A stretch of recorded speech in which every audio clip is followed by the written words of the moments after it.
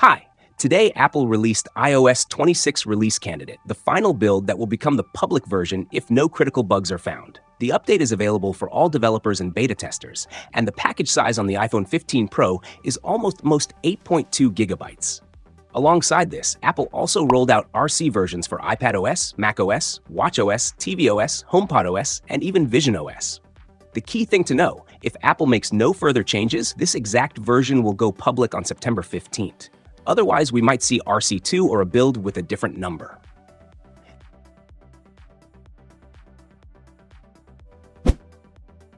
The first thing you notice is the new welcome screen. It's fully animated, includes Wi-Fi setup, and looks modern. Right after installation, the phone heats up noticeably, but that's normal for major updates.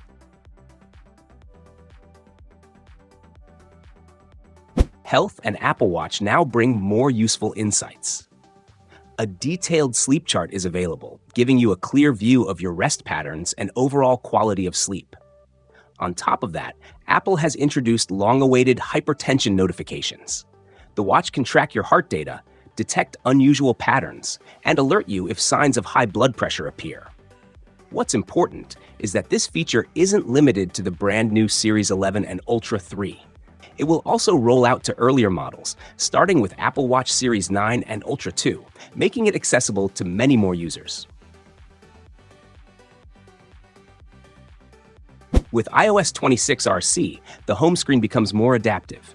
In edit mode, new options let your icons change automatically. When using an official Apple case, the system detects its color and adjusts the icons to match.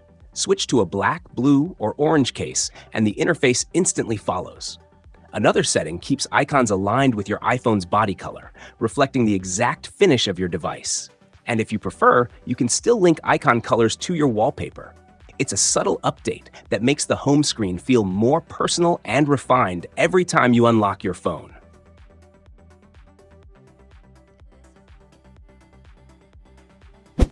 Fitness app. In iOS 26 RC, the Fitness app gains a new Workout tab. Opening it for the first time shows a setup screen with options for workout mirroring, workout buddy, music, and media. After completing the setup, you can select from different guiding voices to accompany your sessions. The tab includes activities such as outdoor walks, runs, cycling, and hiking, with the option to add more. Some features require a Fitness Plus subscription, but the new layout makes workouts more organized and easier to manage on the iPhone. With iOS 26 RC, the interface has become noticeably more transparent. In Apple Music, menus and panels blend smoothly with the background, creating a sense of depth while browsing albums or playlists.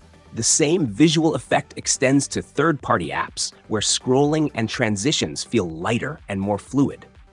This subtle improvement adds a modern, polished finish to everyday interactions and makes the overall experience more immersive. With iOS 26 RC, real-time translation becomes available directly through AirPods.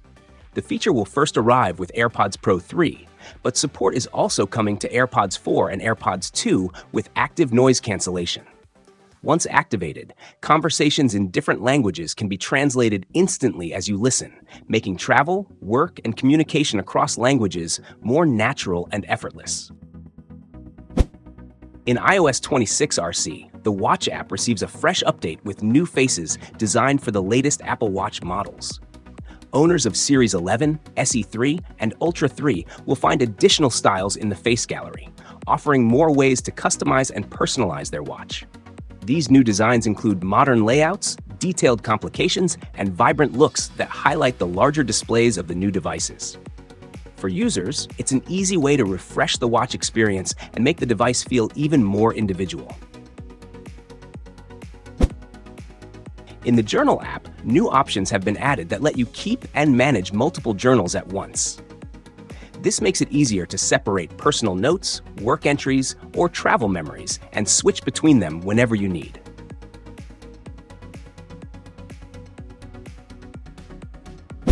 Apple fixed 53 categories of issues but left 37 known bugs.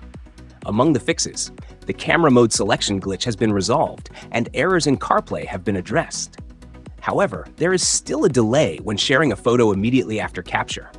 Minor visual problems remain as well. Icons may disappear when switching styles, and the Wi Fi toggle is still not animated with the liquid glass effect.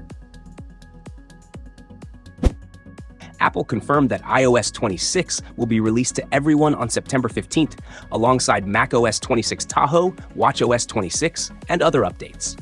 On the same day, pre orders for the iPhone 17 will begin, with sales starting September 19th. The lineup comes in three colors orange, blue, and silver. All models, including the iPhone 17 Air, feature ProMotion 120Hz displays. iOS 26 RC feels very stable and close to final. There are still some minor visual rough edges, but overall it's already a finished product. If you're on the iOS 26 beta, you can update without hesitation.